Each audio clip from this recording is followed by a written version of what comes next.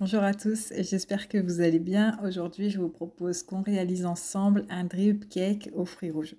C'est un gâteau très facile à réaliser, vous verrez. Il se compose d'une génoise nature toute simple, comme on a l'habitude de faire ici sur ma chaîne. Il se compose également d'une crème diplomate à l'intérieur. On va faire un drip au chocolat et euh, pour la couverture, c'est une crème mascarpone. Je suis vraiment désolée pour l'intro, je vais un petit peu vite, mais la vidéo est déjà tellement longue je l'ai raccourci au plus que je pouvais, mais certaines parties sont vraiment très importantes pour que vous puissiez comprendre et réussir cette recette. C'est parti, on passe tout de suite à la recette. N'oublie pas de préchauffer ton four à 150 degrés. Ici, je suis en chaleur statique.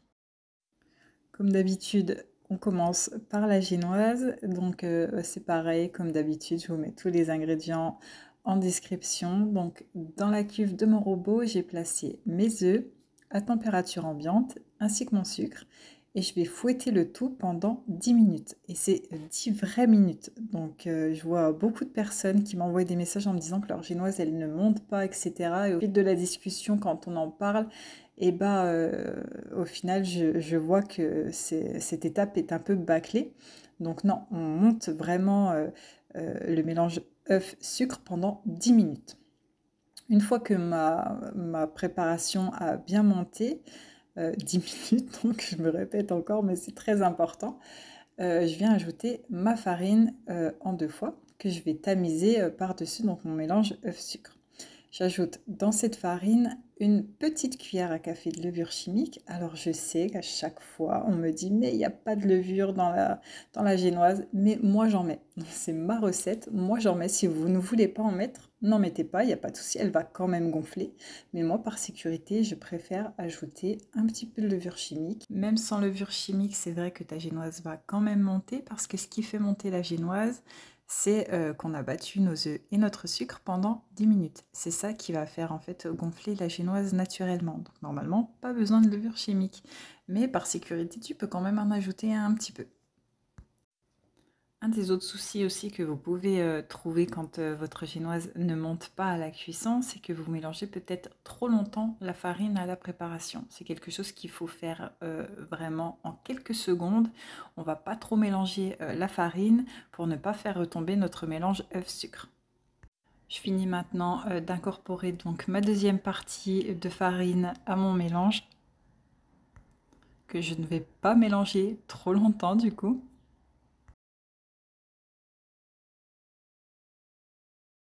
Et pour finir, à l'aide d'une marise pour vérifier si je n'ai pas euh, oublié de farine au fond de la cuve, je viens racler les bords donc avec ma marise et je viens vérifier si euh, je n'ai pas oublié de farine donc au fond de mon bol. Une fois que je suis rassurée qu'il n'y a plus euh, du tout de farine, que ma farine est bien incorporée, je vais venir mettre donc ma préparation dans mon moule. Alors ici mon moule il est chemisé ce qui va m'aider euh, à démouler euh, ma génoise. Et euh, vous allez voir, la génoise, elle monte mais tellement haute que je suis obligée de le chemiser, sinon ça déborderait. Donc si vous ne savez pas comment chemiser un moule, je vous mettrai un lien en haut à droite. J'enfourne ensuite tout de suite ma génoise, donc dans un four préchauffé à 150 degrés. Et là, je vais l'enfourner pendant 50 minutes à 1 heure. Elle cuit euh, à basse température mais très longtemps. Ici je vous montre rapidement à quel point la génoise est montée très haut. C'est en cours de cuisson. C'est normal qu'elle forme un dôme. Surtout n'ouvrez pas votre four à cet instant. Pendant que ma génoise est en train de cuire, on va passer à la préparation de la crème diplomate. Alors la crème diplomate, c'est un mélange de crème pâtissière à laquelle on ajoute un petit peu de gélatine et euh, d'une crème chantilly qu'on viendra y ajouter par la suite. Donc, euh, dans ma casserole, je vais commencer à faire chauffer mon lait avec euh, une petite pointe d'arôme vanille. Tu n'es pas obligé d'en mettre, mais j'en mets, j'aime bien, ça, donne un petit goût. Je fais bien chauffer mon lait, mais je n'arrive pas à l'ébullition. Euh, pendant que mon lait est en train de chauffer, dans un bol d'eau froide, je vais réhydrater donc ma feuille de gélatine. Je la mets de côté et je prends tout de suite un saladier dans lequel je vais ajouter mes jaunes d'œufs.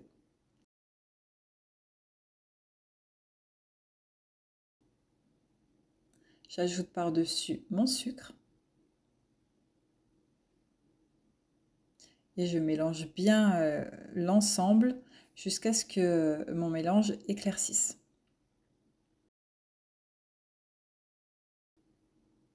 Une fois que mon mélange euh, a bien éclairci, j'ajoute en une fois ma maïzena. Et je fais de même, je mélange bien jusqu'à incorporer celle-ci.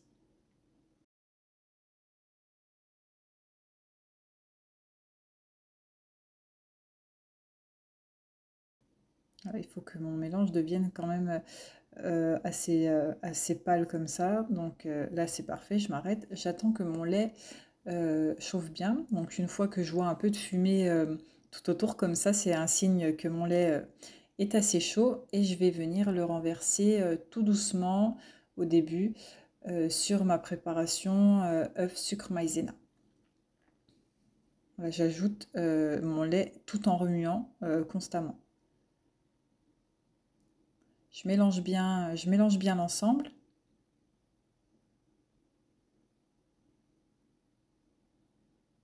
Et euh, je viens renverser euh, donc cette préparation à nouveau dans la casserole.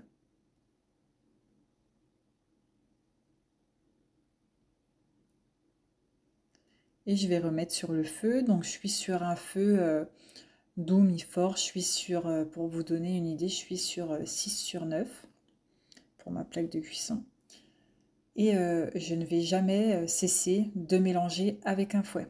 Il faut faire très attention parce que euh, la crème pâtissière va assez, assez vite prendre. Et voilà, une fois que je vois, je, je, vois la mousse qui commence à disparaître, je sais que ma crème va commencer à épaissir et à ce moment-là, il va falloir mélanger très rapidement. Sinon, on va avoir des grumeaux, ça va être horrible, elle va, elle va même brûler au fond de la casserole. Donc, on va chercher à éviter ça. Je, la décale même de la plaque de cuisson, vous voyez. Je la soulève en fait pour euh, justement éviter qu'elle ne brûle au fond, au cas où je ne mélange pas assez vite.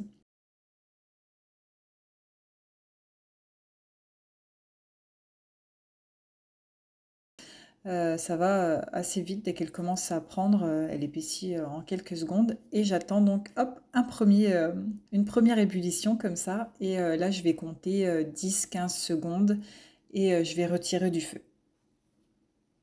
Voilà ce que tu dois obtenir, ce que vous devez obtenir, je tutoie, je vous vois, ce que vous devez obtenir au bout de quelques secondes. Donc voilà, là je retire du feu et puis hors du feu, donc j'y ajoute ma feuille de gélatine. Donc voilà, une fois qu'on est hors du feu, je vais bien essorer euh, dans ma main ma feuille de gélatine et je l'ajoute euh, tout de suite à ma, à ma crème pâtissière. Et euh, je, mélange, je mélange bien l'ensemble pour que ma gélatine soit, soit bien incorporée à ma crème pâtissière. Elle va devenir un petit peu plus liquide, mais c'est normal, elle va figer, elle va figer avec le temps. Et je la renverse là dans un bol je renverse la totalité de ma crème pâtissière dans mon bol et euh, je filme au contact, euh, avec un cellophane. Donc filmer au contact, c'est mettre euh, donc au contact le cellophane avec la crème pâtissière pour éviter que celle-ci ne croûte. Je vais la laisser à température ambiante refroidir quelques minutes et je la place ensuite au frigo pendant minimum 5 heures ou jusqu'à ce qu'elle soit bien figée. Entre-temps, ma génoise a fini de cuire. Pour vérifier sa cuisson, je vais venir planter au milieu de ma génoise un couteau. Si euh, la pointe de mon couteau ressort sec, c'est que ma génoise est bien cuite. Je la sors du four, j'attends quelques minutes qu'elle refroidisse dans son moule pour ne pas me brûler euh, quand je vais la démouler. Et je vais donc ensuite euh, la démouler et la laisser refroidir complètement à l'envers sur une grille. J'ai ouvert mon four à 40 minutes pour vérifier si ma génoise était cuite et grosse erreur euh, de ma part. Euh, c'est pour ça que ma génoise est un petit peu biscornue et qu'il est un peu bizarre aussi sur le dessus parce que j'ai également appuyé sur le dôme de ma génoise pour voir si celle-ci était cuite et en fait elle n'était pas du tout cuite. Du coup j'ai enfoncé le dôme euh, de la génoise et et c'est pas ce qu'il faut faire du tout. voilà, donc euh, ne faites pas ça. Euh, regardez euh, à environ 50 minutes seulement. Une fois qu'elle aura bien refroidi, je vais venir la filmer entièrement correctement avant de la placer au frais. Tu peux également la laisser à température ambiante, il n'y a aucun problème. Pareil que pour ma crème pâtissière, je place ma génoise au frais euh, jusqu'à ce que ma crème pâtissière soit prête. Et donc là, une fois que ma génoise et ma crème pâtissière auront bien reposé au frais quelques heures, on se retrouve donc là en fin d'après-midi ou euh, début de soirée. Je vais commencer à préparer donc mes fruits pour l'intérieur de mon gâteau. Donc je fais un peu le tri. Euh, je vais euh, utiliser les fruits les plus beaux pour la décoration et les fruits un peu moins beaux, je vais les utiliser pour l'intérieur de mon gâteau. Donc je lave correctement mes fruits, je les égoutte et je les laisse égoutter sur un papier absorbant. Et là, je vais les découper en tout petits morceaux, mais vraiment, c'est comme tu veux. Et puis, tu mets les fruits que tu veux hein, au final à l'intérieur. Moi, j'ai décidé de mettre euh, un petit peu de fraises, de framboises et de myrtilles. Donc, je coupe ça euh, en tout petits bouts.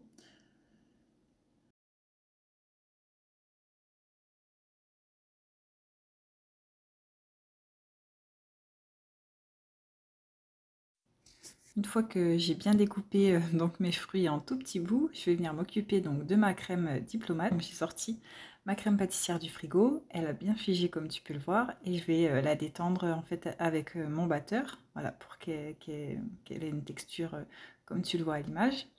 Une fois que c'est fait, je la mets de côté et je passe donc à ma crème chantilly. J'ai donc placé mon mascarpone et ma crème liquide 10 minutes au congèle avant de réaliser cette étape. Je mets donc tout ça dans un saladier, j'y ajoute 2 à 3 euh, cuillères à soupe de sucre glace, ça c'est selon tes goûts. Et puis on va monter donc le tout en chantilly. Donc ici, je vais te montrer comment réaliser une belle chantilly à la mascarpone. Donc tu commences à battre euh, ton mélange donc crème liquide, mascarpone, sucre glace. Au bout d'un moment, tu vas voir que celle-ci va former des vagues euh, dans, ton saladier. Comme tu le vois à l'image, je vais euh, bouger mon saladier et tu vois que ma crème, pas, pas du tout figée, elle bouge euh, avec. Quelques secondes plus tard, elle commence donc à figer. Donc là, tu vois que je bouge mon, saladier elle ne bouge plus du tout. C'est que ma chantilly est prête. Elle est parfaite. Quand je retire mes fouets, elle forme un bec d'oiseau. C'est que la texture est vraiment nickel. Donc euh, je mets de côté et euh, je vais reprendre euh, donc ma crème pâtissière à laquelle je vais ajouter une cuillère de chantilly. Donc je l'incorpore comme ça à la marise. Donc j'y vais vraiment quand même un peu doucement.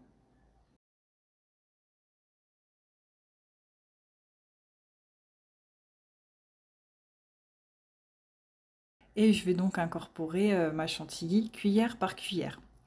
Je vais faire attention de laisser un peu de chantilly parce que je vais euh, vouloir euh, former euh, un boudin tout autour de mes disques génoises quand je vais monter mon layer cake tout à l'heure. Tu verras, les images seront plus précises pour toi. Donc voilà, ici j'ai laissé un petit peu de crème chantilly. Donc j'en ai laissé environ, tu vas, tu vas le voir de toute façon, environ 5 cuillères à soupe. Donc je mets ma crème chantilly dans ma poche à douille Donc c'est vraiment, en fait, ça va me servir à, ce que ma crème diplomate à l'intérieur de mon gâteau, ainsi que mes fruits, ne sortent pas euh, de mon gâteau et que ça ne me gêne pas, en fait, après pour la couverture de celui-ci.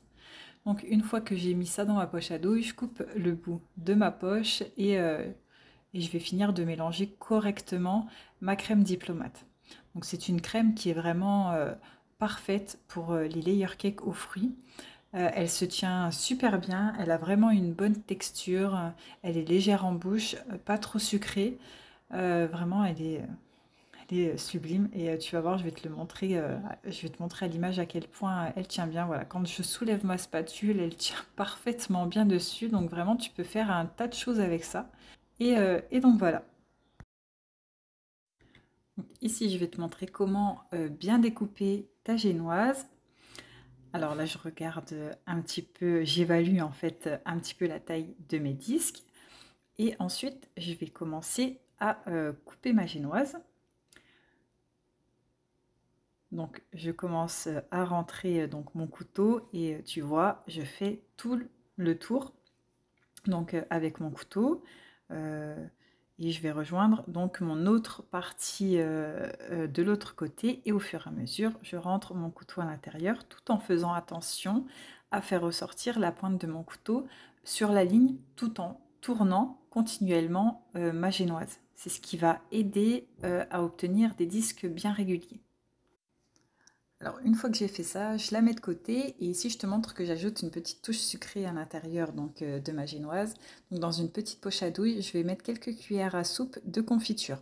Alors euh, je préfère mettre de la confiture parce que c'est un peu plus sucré donc ça va aider en fait à, relever le goût euh, des fruits. Et j'utilise pas de coulis ou quoi parce que c'est trop c'est trop liquide donc je préfère vraiment ajouter de la confiture, c'est c'est pas très cher euh, comparé à une compotée de fruits rouges que tu pourrais faire toi maison. Ça demande beaucoup de fruits, donc, euh, voilà, c'est vraiment, vraiment bien. Je te conseille vraiment d'ajouter cette petite touche sucrée.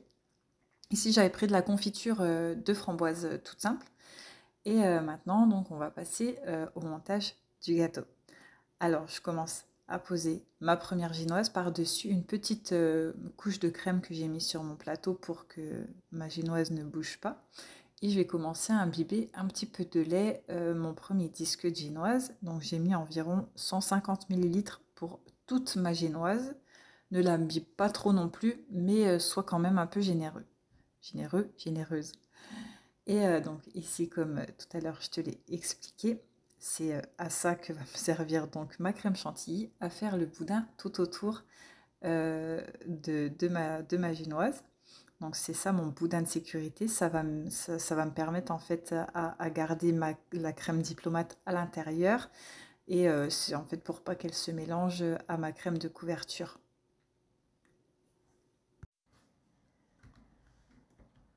En fait c'est plus pratique d'ajouter euh, un boudin de mascarpone comme ça euh, tout autour. Donc un boudin de sécurité comme on l'appelle.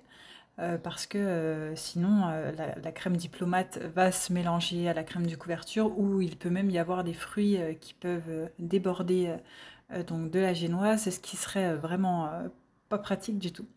Donc ensuite je mets un petit peu, de crème, crème diplomate pardon, à l'intérieur donc de mon boudin, j'y ajoute mes fruits, un petit peu de confiture et je vais faire ça en fait euh, sur, tous mes disques. Donc, euh, euh, je rajoute après par-dessus un autre disque de génoise que je vais imbiber.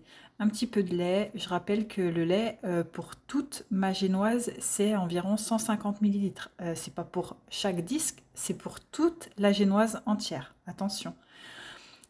Une fois que j'ai bien imbibé mon disque de génoise, je viens mettre donc mon boudin de sécurité donc de mascarpone. J'ajoute au milieu ma crème diplomate. Donc j'en ajoute environ euh, deux, belles cuillères à soupe que je viens étaler comme ça donc euh, sur, sur toute la surface. Et j'ajoute donc euh, ensuite par-dessus mes fruits qu'on a découpés donc tout à l'heure. Donc ici, comme je te l'ai dit, hein, tu peux mettre les fruits que tu veux, il n'y a aucun souci. Tu peux même mettre des fruits en boîte. Euh, ça marche aussi, je le fais, c'est euh, nickel. Et euh, par-dessus, donc, je mets donc, la confiture à la framboise de tout à l'heure. Donc je suis généreuse aussi avec ça. Et là, donc j'ajoute mon dernier disque de génoise que je vais imbiber par le dessous. Donc tu vois, c'est pour ça que je le tiens à la main parce que ce sera, ce sera plus simple. Il va, va mieux absorber en fait le lait euh, par ce, par ce côté-là. Et euh, là, je le pose, du coup, euh, je le retourne et je le pose sur mon gâteau. J'imbibe un tout petit peu sur le dessus, mais vraiment un tout petit peu. Je veux pas que ça trempe le dessus de mon gâteau. Et maintenant, bah, je viens lisser, je viens remettre un petit peu droit mon gâteau et je viens lisser donc à l'aide de mon équerre. je regarde si tout est bien droit et si euh, le résultat est satisfaisant, je viens à présent euh, le cellophaner de partout. Donc je prends soin de correctement le filmer. Donc euh, j'en mets vraiment partout, partout. c'est important parce que c'est ce qui va faire tout le moelleux du gâteau en fait, qu'il soit bien emprisonné à l'intérieur du, du cellophane. Donc tu vois, même avec une spatule, je, je viens en fait rentrer euh, le dessous de mon cellophane avec cette spatule. Donc je viens, je viens le faire rentrer en dessous de la génoise, pardon. Et voilà, donc je le, je le, remets droit à travers. En plus, c'est pratique. Et euh, maintenant, je le place au frais, donc toute la nuit. Comme ça, il aura bien le temps de, de reposer. La crème à l'intérieur et le boudin de mascarpone vont bien figer. Et euh, le lendemain, on n'aura aucune difficulté pour euh, recouvrir notre gâteau. Il ne bougera pas. Et là, euh, donc le lendemain, je commence donc à préparer le drip au chocolat. Dans, dans un bol d'eau froide, je vais venir réhydrater ma demi-feuille de gélatine. Dans ma, dans ma petite casserole, j'ajoute ma crème liquide entière 30% ainsi que mon chocolat pâtissier. Je l'ai dit, euh, je ne l'ai pas dit dans l'ordre, mais bon, tu as compris. Et euh, je mets ça sur le feu euh, jusqu'à faire fondre mon chocolat à l'intérieur euh, de ma crème liquide. Voilà, quand ça commence à avoir un petit peu de fumée comme ça, je vais remuer le tout pour faire fondre correctement mon chocolat.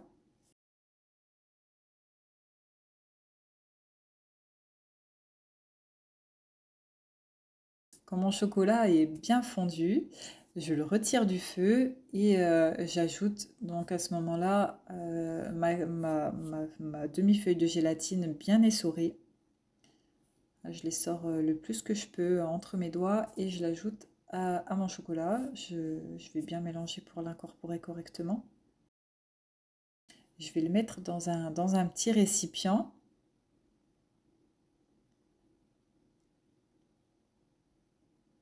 Et j'ajoute tout de suite dedans une cuillère parce que c'est un mélange que je vais, euh, remuer euh, de temps en temps jusqu'à ce que j'obtienne bonne température. Et là, je passe à la préparation de ma crème pour recouvrir mon gâteau. Donc, euh, dans mon saladier, j'ajoute ma crème liquide très froide et mon mascarpone très froid, pareil que j'ai placé au congèle 10 minutes avant de réaliser cette étape. Et j'ajoute également 3 à 4 cuillères à soupe de sucre glace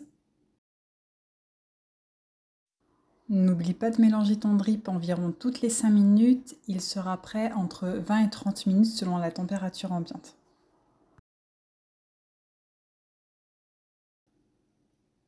Et là, je commence à monter donc ma chantilly. Comme pour tout à l'heure, c'est exactement la même chose. Euh, là, quand ça commence à faire des vagues euh, dans la crème, euh, tu vois, je bouge mon saladier, ça bouge beaucoup trop, c'est que c'est pas bon. Là, ça commence à épaissir et tu vois, quand je secoue mon saladier, euh, il n'y a plus rien qui bouge. Voilà, donc pour m'assurer, euh, je, fouette encore un petit euh, quelques secondes et puis j'arrête mon batteur et voilà, ma crème, elle est parfaite. Donc je vais venir l'ajouter dans une poche à douille. Ce sera plus simple pour recouvrir mon gâteau, mais tu n'es pas obligé. Hein. Tu peux tu peux recouvrir ton, gâteau pardon, euh, avec une, spatule coudée. Ça marche aussi, mais je trouve que c'est un peu plus long et faut avoir peut-être un peu plus d'expérience. Moi, je l'ai toujours fait euh, comme ça euh, à la poche à douille. C'est toujours très bien à chaque fois, donc je ne changerai pas. voilà. Donc, une fois que j'ai mis ma, ma, crème mascarpone dans ma poche à douille, je viens couper, couper le bout. Et je mets de côté. Et tu vois, je n'oublie jamais de remuer euh, toutes les 5 euh, minutes mon drip. Euh, là, je sors donc mon gâteau du frigo. Donc normalement, pour toi, il a refroidi toute la nuit au frais. Et là, il y a quelque chose qui me plaît pas.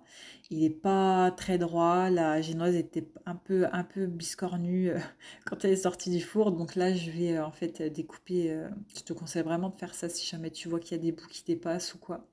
Ça va vraiment t'aider dans, dans, le lissage après de ton gâteau parce que là, là le boudin qu'il y avait sur le côté, le truc qui ressortait de la génoise, là, ça, ça, ça m'aurait vraiment gêné au moment de lisser mon gâteau. Euh, des fois, tu lisses un peu trop, puis en fait, tu vois la génoise qui réapparaît euh, à travers euh, ta, couverture, donc c'est pas possible. Donc là, j'ai coupé, j'ai débarrassé, j'ai nettoyé mon plateau, et voilà, mon, gâteau, il est redevenu super droit, donc c'est parfait. là, je commence donc à faire des boudins tout autour de mon gâteau avec ma poche à douille. Donc je le recouvre entièrement de boudin. voilà, j'en mets jusqu'au-dessus.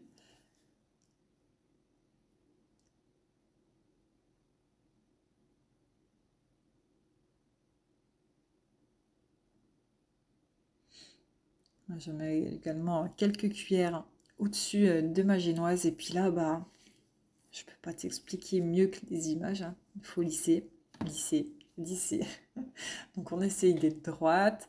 On rajoute un peu de crème euh, aux endroits où on voit que bah, qu'il n'y a pas de crème, qu'il y a des trous. Donc on bouche les trous euh, avec, le reste de mascarpone qui nous reste normalement dans le saladier. Normalement, j'ai compté quand même pas mal de mascarpone, donc tu en auras normalement pile poil. Et euh, je compte une bonne couverture. Hein. il y a bien un bon centimètre et demi de couverture là de, de mascarpone. Donc euh, normalement, euh, normalement, ça devrait le faire. Donc voilà, je continue de boucher les trous. Je te montre d'un peu plus loin comme ça. Et je vais faire ça. je vais prendre mon temps. vraiment, je vais faire ça. Je vais essayer de faire ça bien.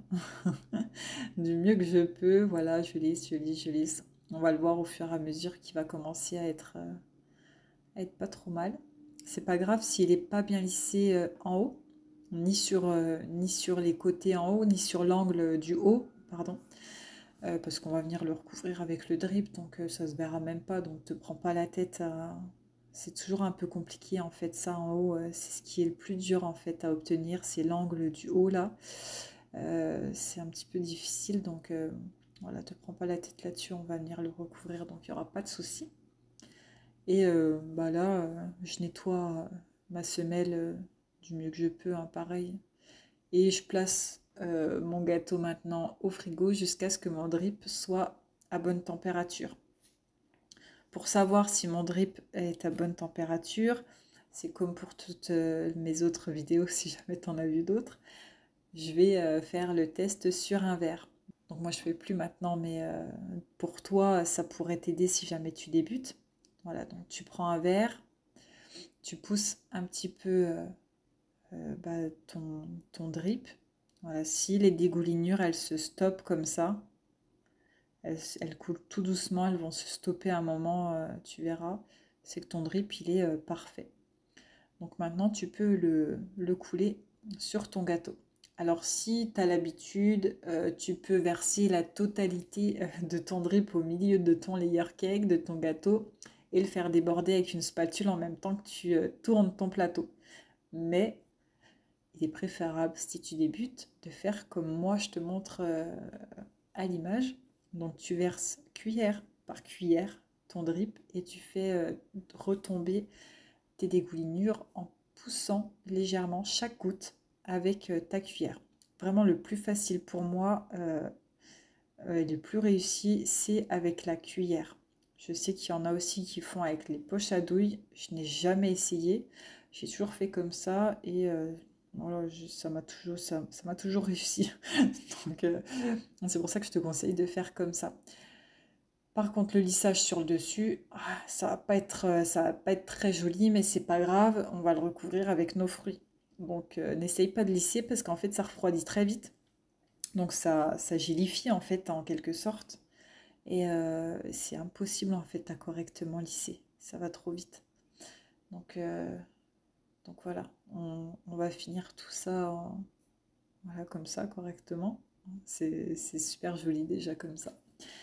Et pour faire figer donc notre drip avant de poser nos fruits, on va placer notre, notre gâteau encore au frigo. On le place 5 minutes, hein. franchement ça va assez vite. Donc là maintenant, euh, bah, je vais le décorer. Alors je vais le décorer mais tellement généreusement. Je vais mettre tous mes fruits, je vais mettre tous les fruits qu'il y a dessus. C'est même peut-être un peu trop parce que c'est limite trop lourd en fait pour, euh, pour le gâteau. Euh, après quand je l'ai soulevé en fait avec, avec la petite semelle en carton, là le petit plateau en carton, je l'ai plié. Euh, j'ai cru que le gâteau allait s'effondrer en fait. Donc vraiment, si tu fais un gâteau comme ça avec autant de fruits sur le dessus, je te conseille vraiment d'avoir un plateau super rigide. Euh, je sais pas si tu vois, tu vois les plateaux euh, argentés qui font au moins 2 cm d'épaisseur. je te conseille vraiment de prendre ça parce que c'est une catastrophe là en fait ça. J'ai jamais fait, je crois, un gâteau aussi lourd de fruits et aussi petit. En fait, d'habitude, quand j'en fais des, lourds, on va dire, ils, prennent tout le plateau, donc ça va. Mais là, il est un peu concentré sur le milieu. Et bah, d'ailleurs, tu vois, il a bougé en fait quand je l'ai pris il a plié un peu, enfin, le poids en fait au milieu, bah, j'ai pris de chaque côté en fait ma semelle et le poids de mon gâteau, euh, voilà, s'est retrouvé au milieu. Il a un peu, voilà, mon plateau, il a gondolé mon gâteau a bougé. J'étais dégoûtée quoi, mais bon, voilà, il est quand même resté en place. C'était très bien, mais euh, voilà, c'est un petit conseil que je te donne quand même. Donc voilà. La vidéo est maintenant terminée. J'espère que mes explications euh, ont été claires pour toi. Si jamais tu as des questions, comme d'habitude, n'hésite pas à me les poser en commentaire, à m'envoyer un message sur Instagram. Je te mettrai euh, en barre d'infos mon compte. Et voilà, je te dis à bientôt pour une nouvelle recette. Et, euh, encore merci, merci à vous, merci pour vos likes, vos messages, vos abonnements. C'est vraiment beaucoup pour moi, donc un grand merci.